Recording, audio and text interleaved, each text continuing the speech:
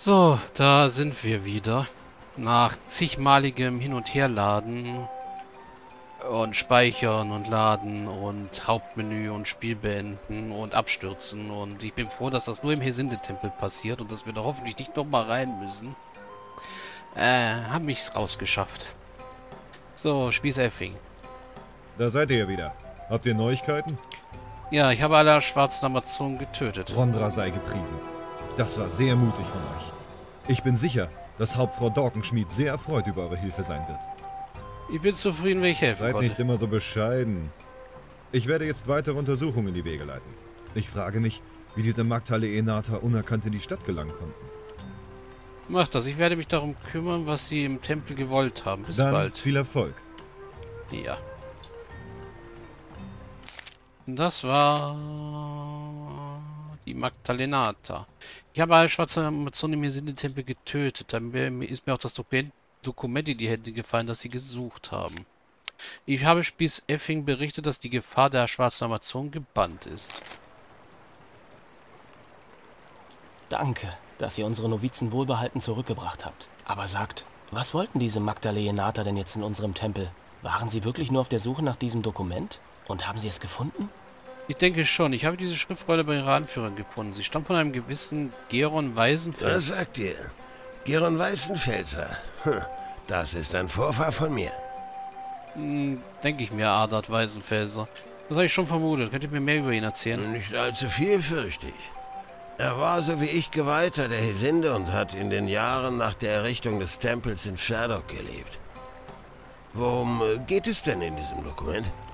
Ihr lest selbst. Hm, Das klingt, als ob mein Ahne etwas über diesen Adamanten gewusst haben könnte. Eine Reise nach Kuslik und Nachforschungen im dortigen Tempel würden uns möglicherweise weiterhelfen. Vermutlich, aber das würde leider zu lange dauern. Aber halt. Dorion hier stammt doch aus Kuslik. Wisst ihr vielleicht etwas darüber? Nein, leider nicht. Ich habe heute zum ersten Mal von diesem Auge der Göttin gehört. Aber es muss mit Sicherheit ein ganz besonderer Stein sein. Wenn er tatsächlich magische Kräfte hat, könnte es sich möglicherweise um einen Madamanten handeln. Ich frage mich, ob da vielleicht ein Zusammenhang mit dem Besuch von Frenja besteht. Ihr meint die Schwester der Marder? Frenja ist eine Schwester der Marder, einem Hesinde-Orden. Sie war vor kurzem hier im Tempel und hat in unserem Archiv etwas gesucht. Dann werde ich mit ihr sprechen. Wisst ihr, wo, ich sie, wo sie sich aufhält? Nein, das kann ich euch leider nicht sagen. Möglich, dass sie noch in Ferdok ist. Aber vielleicht ist sie auch schon wieder weitergereist. Habt ihr eine Vermutung, welche Göttin die Statue aus dem Dokument darstellen könnte? Nein, leider nicht. Ich hätte ja gesagt, dass es sich dabei um Hesinde handelt, aber das schließt der Erzähler aus dem Dokument ja aus. Möglicherweise stellt sie eine der Töchter unserer zwölf Götter dar. Oder aber auch jemand ganz anderen.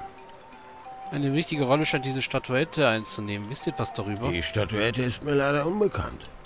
Da sie exischen Ursprungs zu sein scheint, könnte es eventuell mit Sint zusammenhängen. Sint ist eine Göttin der Achats, müsst ihr wissen. Einer ihrer Aspekte ist die Magie, so wie es bei Hesinde auch der Fall ist.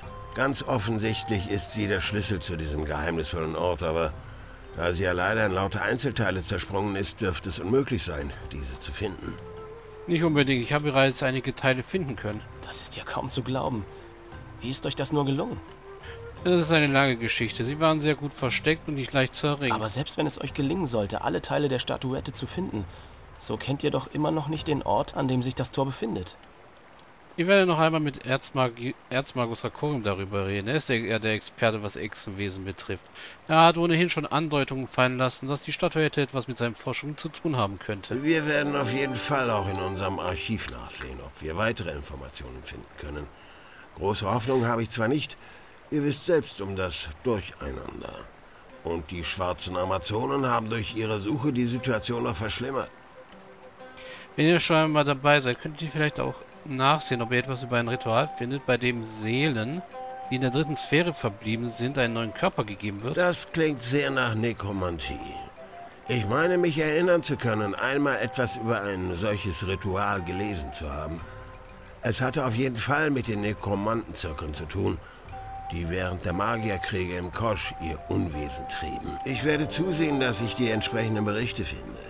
Am besten ist es, wenn ihr später nochmal wiederkommt. Das werde ich machen. Ich muss jetzt ohnehin erst mit Erzmagister Rakorium Und reden. nochmal vielen Dank für euer Eingreifen. Ja. Ich muss da noch mal rein.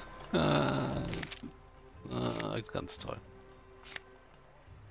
Die Statuette. Anscheinend handelt es sich bei den Teilen der Statuette, die ich gewonnen habe, um einen Schlüssel, der zu einem mir unbekannten Ort führt. Da die Statuette exischen Ursprungs zu sein scheint, sollte ich nochmal mit Erzmagister Rakorium darüber sprechen. Mit Erzmagus. Schließlich ist er Experte in exischen Dingen. Ich hoffe, er hält sich noch im Stadtarchiv auf.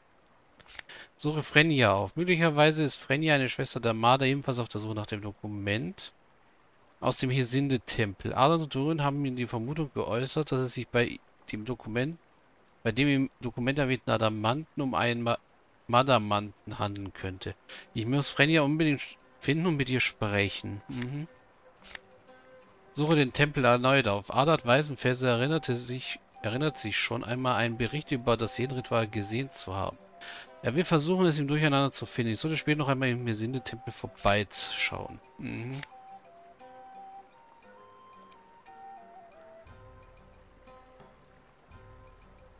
Ja.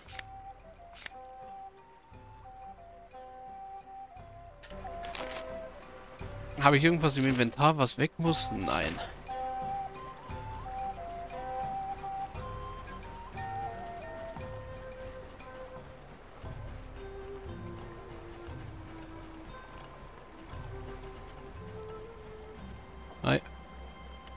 Laurelin ist mein Name. Wollt ihr euer Talent im Bogenbau verfolgen? Äh, ihr habt ein neues Spiel. Also die Fässer da hinten. Na, wollt ihr unser neues Spiel ausprobieren? Äh, Diesmal ist es ganz bestimmt ein ehrliches Spiel. Wieso kann ich euch das nicht glauben? Probiert es aus, dann werdet ihr schon sehen. Äh, na gut, obwohl ich jetzt schon bereue. Wo ist dein Nur einen Silbertaler und ihr könnt bis zu einem Dukaten gewinnen. Na, erklärt mir jetzt mal, wie das Spiel Es funktioniert. ist ganz einfach. Seht ihr die Fässer hinter uns? Aber sicher doch. Habt ihr etwas darin versteckt oder soll ich sie zerschlagen? Äh, Weder noch. Ihr müsst nur drei Äpfel mit euren Füßen in den von den Fässern abgetrennten Bereich befördern. Je schneller euch das gelingt, desto höher euer Gewinn. Wie schon gesagt, ganz einfach. Äh. Menschenkenntnis. Anscheinend mir die ist wirklich Haben ehrlich. wir doch gesagt, ein ehrliches Spiel. Sollen wir anfangen? Äh. Ja, kann losgehen. Hier der Einsatz. Habe ich gerade ein Autosave gekriegt?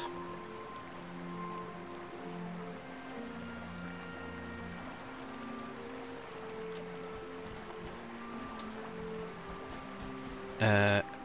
Ah, ich roll den Apfel. Das war ein Volltreffer. Hier kommt der zweite ab. Okay.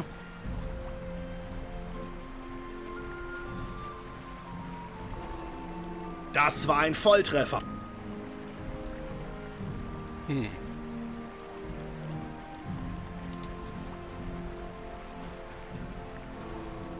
Ihr habt dreimal getroffen und das sogar in einer gar nicht so schlechten Zeit. Hier habt ihr euren Einsatz zurück. Immerhin etwas. Wollt ihr es noch einmal versuchen? Vielleicht habt ihr diesmal mehr Glück. Immer noch. Okay, jetzt nachdem ich es einigermaßen kapiert habe.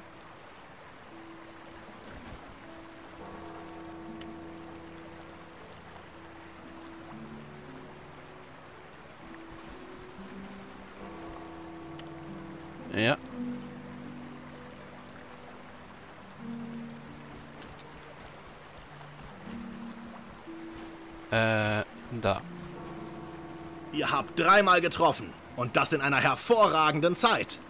Ihr habt euch den doppelten Einsatz redlich verdient. Eine reife Leistung, Wie wäre es mit noch einem Versuch? Vielleicht könnt ihr euren Erfolg Vielleicht später. Hm. Jetzt ist wieder die Anordnung durcheinander.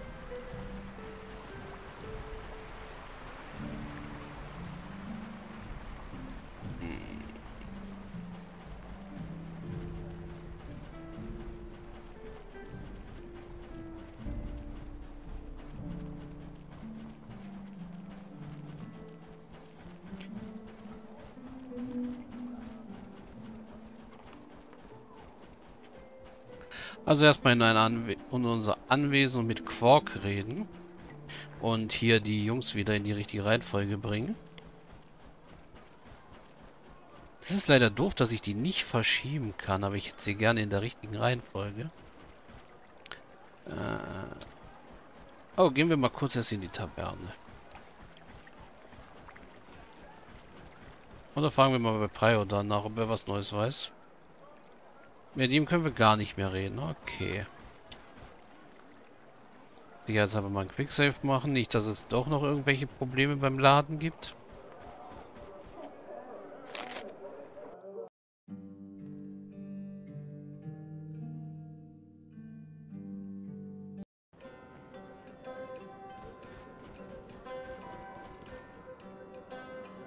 Ne, unser Zwerchenfreund ist nicht hier.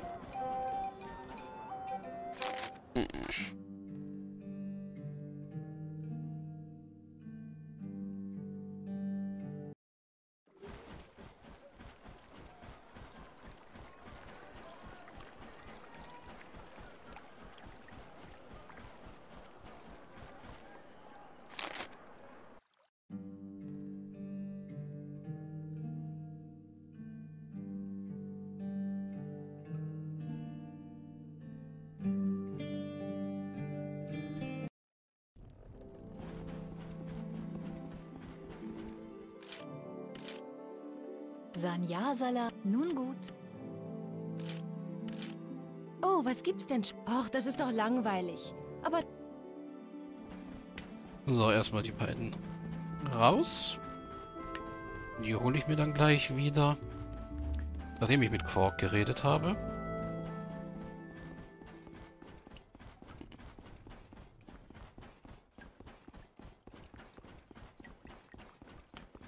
Dumm, die dumm. Hi, Wildschrati.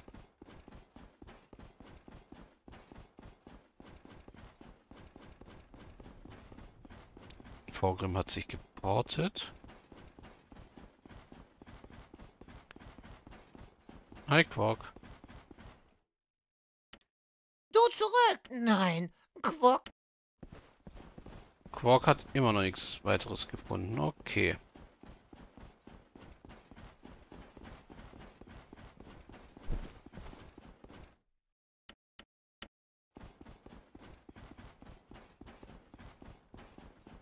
Geht's hier oben noch irgendwo lang? Nö.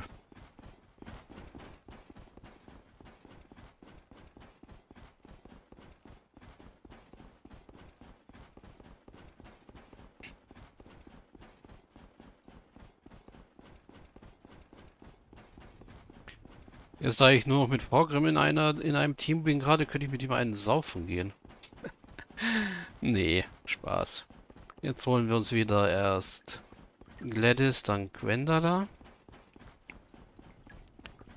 Dann machen wir uns auf die Suche zu, auf die Weg zu Rakorium.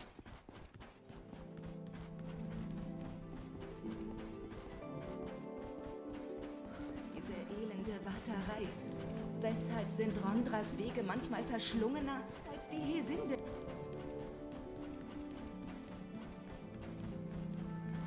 Ja, es, Aber ich bin wirklich ein Edelmann.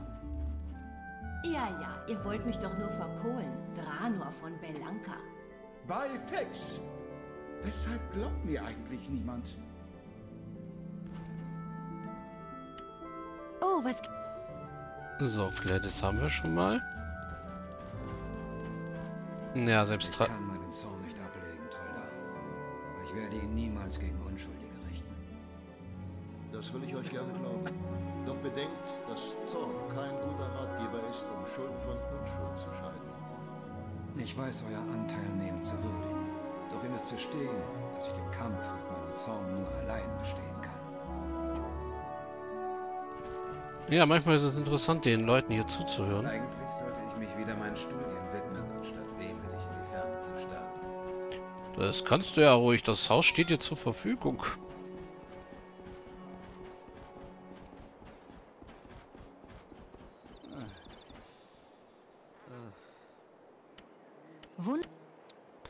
So, wir haben wieder ein äh, volles Team.